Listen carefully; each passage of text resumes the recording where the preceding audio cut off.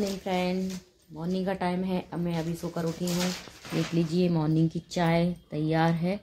और ये हस्बैंड बैठे हुए यहाँ पर पेपर पढ़ रहे हैं। उनको सब सुबह से उठते से ही चाय चाहिए, पता बिल्कुल। मुँह में गरम गरम चाय भी डाल दोगे ना?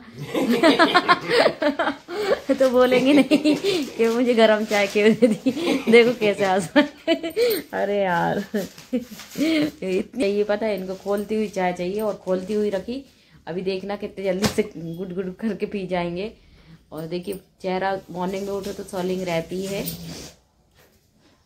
अभी ना, रात को अच्छी नींद नहीं लग रही दो दिन से बढ़िया। जितनी अच्छी लगना चाहिए मतलब पहले से ही नहीं लगती है बट अभी दो दिन से कुछ ज़्यादा ही नहीं लग रही। देखो, पानी, अब इतनी देर से पानी ला के रखा तो पिया नहीं। अब तुरंत ही पानी गटकेंगे, तुरंत ही चाय पियेंगे। देखो, इनके तो मुझे रूल्स ही समझ में नहीं आते। कम से कम दस पंद्रह मिनट होना चाहिए पानी पीने में। फ्रेंड बने रहिए ब्लॉग में, चाय पी लेते हैं, फिर मिलते हैं आपसे। और आज है मंडे का दिन, मैंने हेयर वॉश किया है तो अभी बाल सुखा कर मैं ऊपर से नीचे आई हूँ। और अच्छा नहीं लग रहा, कल मैंने कोई ब्लॉग शूट नहीं करा था, कल संडे था, आज मंडे है, क्योंकि परसों नाइट में बारह बजे हमारे बाजू में एक अंकल एक्सपायर हो गए थे। ज़्यादा एज नहीं थी उनकी बट क्या उनको तुरंत ही हॉस्पिटल ले गए, घर में ही उनके हाथ पैर काम करना बंद कर दिए।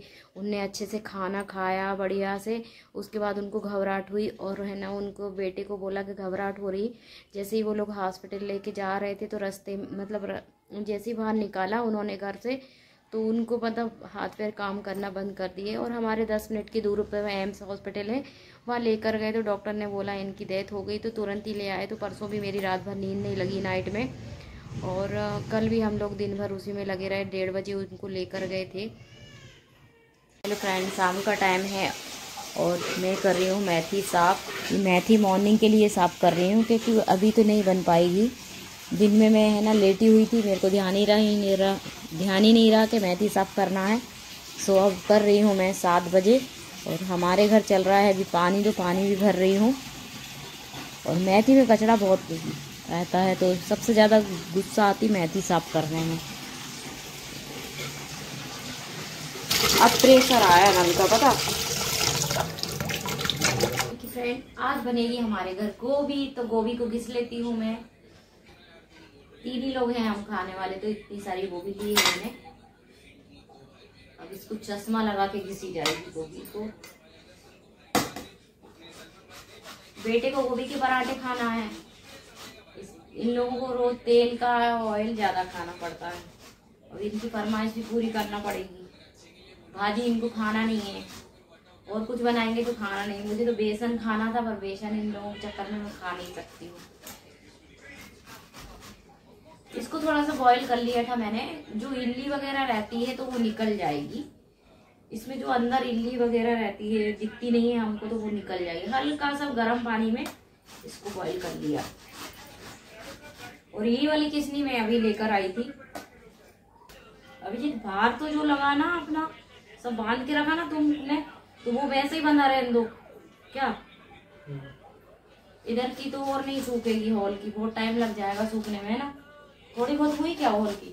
सूखी क्या थोड़ी बहुत? किचन साइड की खूब सूखी क्या? नहीं नहीं किचन साइड से गेट खोल दो तो वो जो लॉबी एरिया है ना वो सूख जाएगी। सब खोल रखा यार। किचन का तो पापा बंद करके रखते गेट सब खोल के रखता हूँ मैं। पापा बंद करते हैं।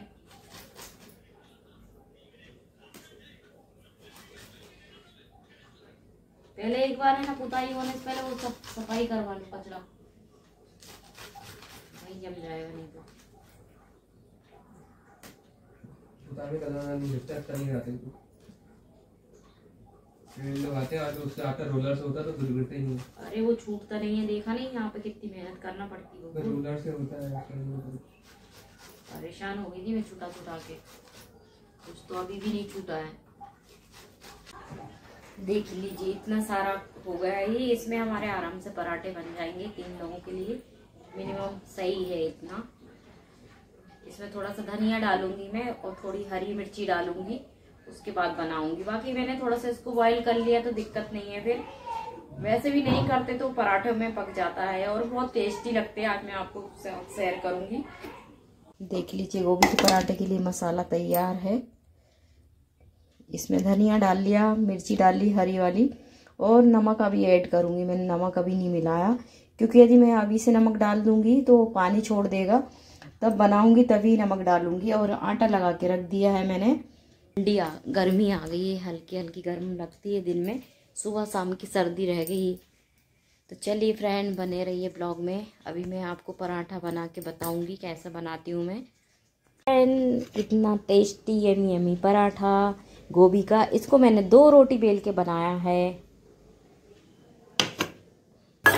दो लेयर में बनाया है इसको देखिए।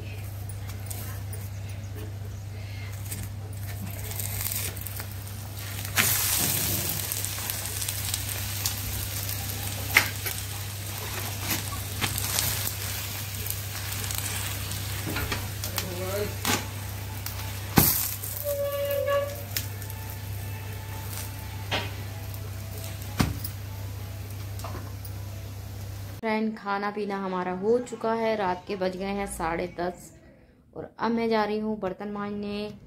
उसके बाद जाएँगे बिस्तर पे और नींद तो आएगी नहीं, बारह बजे तक नींद नहीं आती। और तो बैठे हुए हैं यहाँ पर। हमारे ब्लॉग में मज़ा नहीं आ रहा होगा क्योंकि हम लोग सब चुपचाप बैठे रहते हैं। क्योंकि ज़्यादा हम लोग सूट भी नहीं कर पा रहे हैं। देखिए सो रहा है अपनी जगह पे सब। और ये भाजी मॉर्निंग के लिए मैंने धो के रख दी। सुबह फटाफट काट लूँगी। काट के मतलब नहीं रखी है मैंने। बोलते काट के नहीं रखना चाहिए, कड़वी हो जाती। तो फटाफट सुबह मॉर्निंग में काट लूँगी इसको और फिर बनाऊँगी, क्योंकि तोड़ने में काफ़ी टाइम लगता है, काटने में उतना नहीं लगता है। तो चलिए फ्रेंड मेरा वीडियो आपको पसंद आता है वीडियो को लाइक कीजिएगा शेयर कीजिएगा सब्सक्राइब कीजिएगा। Bye bye take care friend good night